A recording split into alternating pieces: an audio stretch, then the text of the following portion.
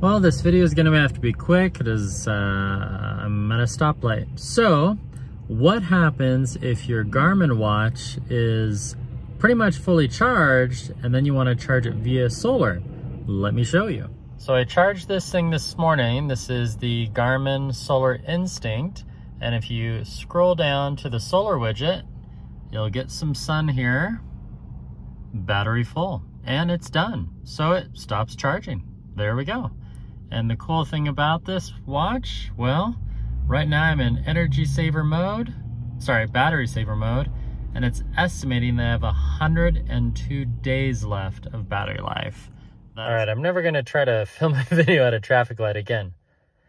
Uh, again, uh, I recently fully charged this watch this morning, about four hours ago, and when it's in this battery saver mode, and this is something new to the Instinct Solar, the Garmin Instinct didn't have that. Now, if I take this out of battery mode, sorry, battery saver mode, by selecting, now it jumps down to 14 days.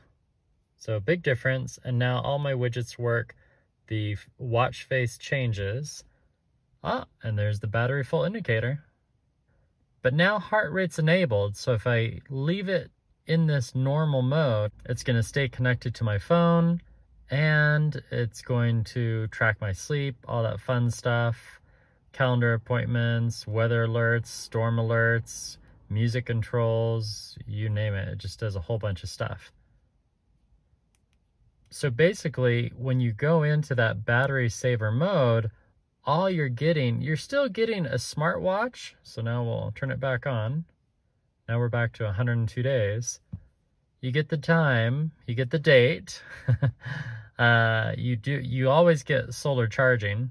So battery's still full, awesome. And it still counts steps.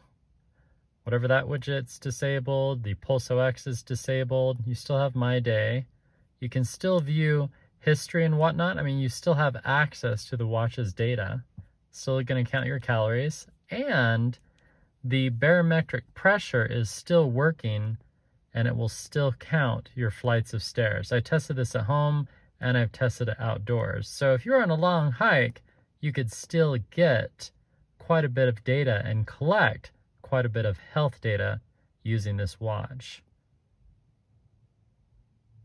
So it looks like it's still tracking, yeah, it's still tracking barometric pressure alerts as well. Hmm, I wonder if, and it's still tracking temperature. That's nice. And it's still tracking the phases of the moon. And there's the flights of stairs. So is this an awesome watch? The answer is yes. Do I recommend it? Yes. Actually, one thing I noticed in the wee hours of the morning today, around 2 a.m., I wanted to check the time, and you can't see it right now, and it's hard to film at night. I've tried. When you do turn on that backlight, because this is a military grade device, the backlight is really soft and it's very gentle on your eyes at 2 a.m.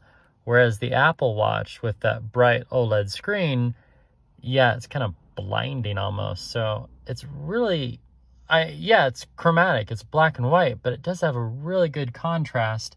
And even in direct sunlight, you can always see your data, which is something I've really enjoyed on this watch. And it just works. I love the button navigation, and I really like how I can keep my gloves on in the cold weather here in Utah and still view the data and still just scroll. And even when you are in battery saver mode, as soon as you hit GPS and start a GPS walk, for example, it will automatically turn on GPS and start doing your heart rate without you having to take it out of battery saver mode. And then as soon as you're done, it kills the GPS, it terminates the phone connection, and it closes out any heart rate detection as well. So it's a smart watch. And that's it. Just a short video today about the Garmin Instinct Solar. I really like it. Bought this back in November, so this is three months later.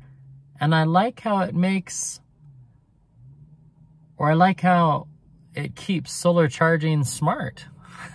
it uh, it won't overcharge the battery like some people believe could happen. So Garmin put a lot of work into this $400 device. That's all I have for today. Thank you so much for watching. And the mantra, well, yeah, there's the, the beat yesterday, beat yesterday by Garmin, but more so, numbers mean something and numbers mean nothing at all. Don't get too hung up in competing with your friends online. Just focus on you and improving yourself. And yes, run farther to go further in life. That's all I have for today. Let the credits roll for the Paramount Kid.